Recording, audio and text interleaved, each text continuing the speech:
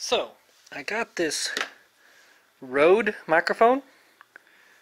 It is the oh video mic, I think. It's got the one with the battery in it.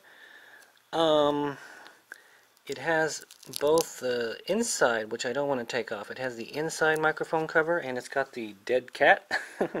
I've never owned one of these before, but it's supposed to help with, of course, wind noise reduction. Um, this isn't a review of this item. I'm just showing you what I got. I have the Sony AX100. This is my best camera I've got.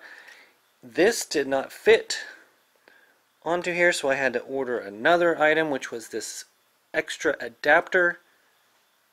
And it screws right in really nicely. I'm going to put this on and give this a test. I'll do a quick test of this microphone. What the heck. Then I'll, I'll put these two videos together, the one on this camera, one on that, and then upload it. Okay, so this is the first test. I'm using the internal mic on the Sony AX100 uh, 4K camera. This is the internal mic, and this is just a test.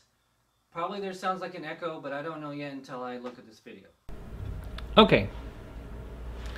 This is mic test number two. I'm using the Rode mic on top. I'm about four feet away.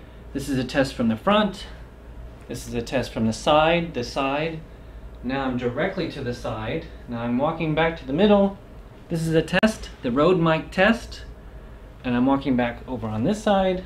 Now I'm on the other side. Test, test, test, test, test. Okay, now I'm gonna walk towards it, towards the microphone, which is right here. I'm very close now, about a foot away. This is a test, an interview test, an interview test, interview test. Okay?